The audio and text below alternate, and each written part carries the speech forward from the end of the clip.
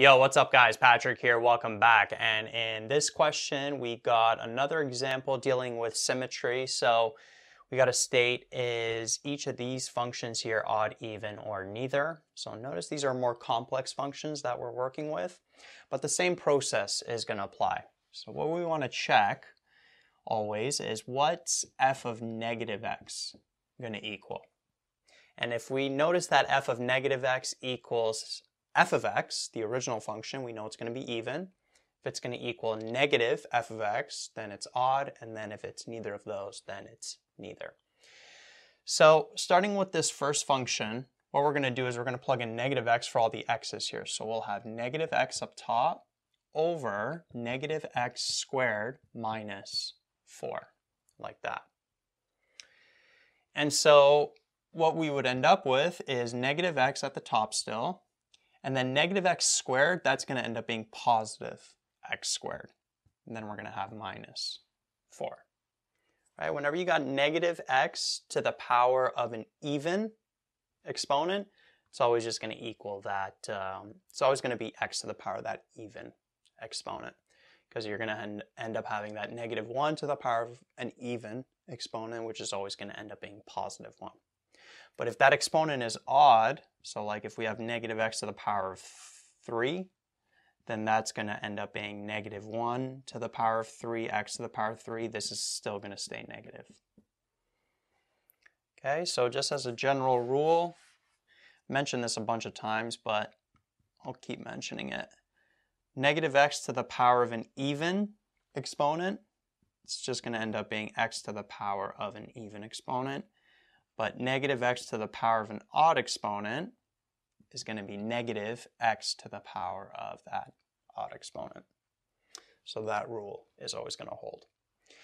So going back to this, okay, so we got negative x over x squared minus 4. Notice that we can take out this negative. Let's put it in front of the function. Like that. And notice that x over x squared minus 4, that's just f of x. So we'd end up with negative f of x here.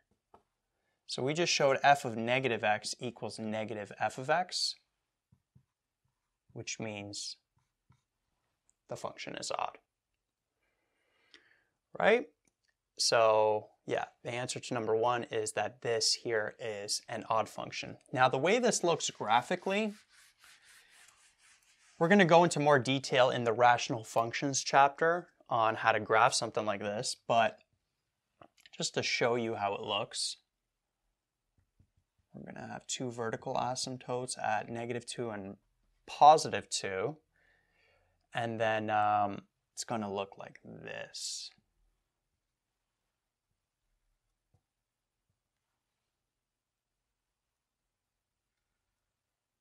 All right kind of a weird looking graph like that. But nevertheless, notice that if we take one half of the graph, so this is the y-axis here, let's say we take this portion of the graph, which is this and that. If a function is odd, what does that mean? That when we take one half of the graph on one side of the y-axis and we reflect it in the y-axis and the x-axis, we should end up with the other portion.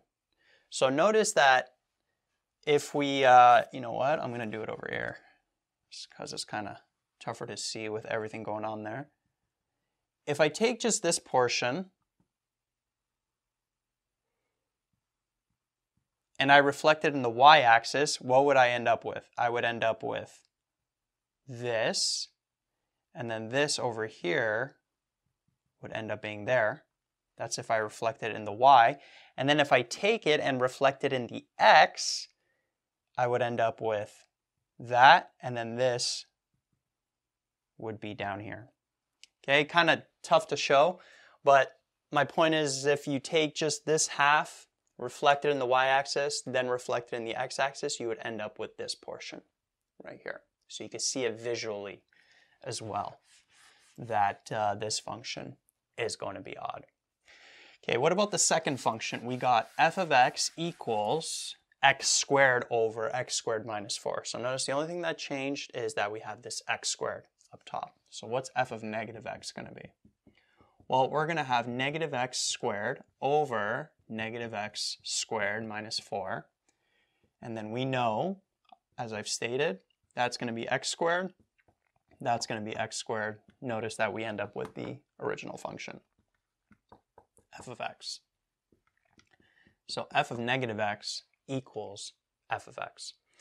So notice that even with rational functions, meaning that if you have variables in the denominator, if all of the exponents are even, and then you have some kind of constant, then it's going to be an even function. It's the same thing as I mentioned with polynomials. With, um, with a mix of odd and even exponents in a rational function, sometimes it's a little tougher to figure out whether it's odd or even or neither, right? So if you remember that with polynomials, if all of the exponents were odd, for example, like that, then that function is going to be odd. If we had a mix, like x to the power 5 plus x to the power 4, an odd exponent and an even exponent, we know that this was going to be neither. But this property, quote unquote, doesn't necessarily apply with, um, with rational functions where if you have a mix of an odd exponent, 1, and an even exponent, 2, it's not necessarily going to be neither. Notice that we got odd there. But if you have all even exponents and then constants, then that function is going to end up being even. Right? So I don't know if it's useful to like remember all of these rules in your head. Personally, I don't try to remember them. I just try to make sure that I get my algebra skills down so I can just show it, right? I can see whether f of negative x would be f of x or negative f of x and just prove it that way, right? So anyway, this function here ends up being even.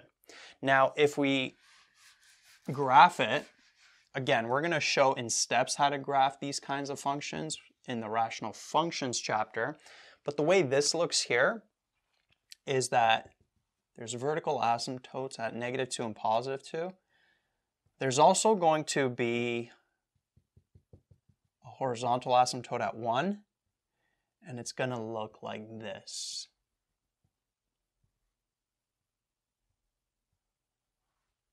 And then like that. Right? So notice that if we take this half here and reflect it, we would end up with this half. Or if we take this half reflected over the y-axis, we'd end up with that half. So you can visually see it's symmetric about the y-axis. And so that function ends up being even.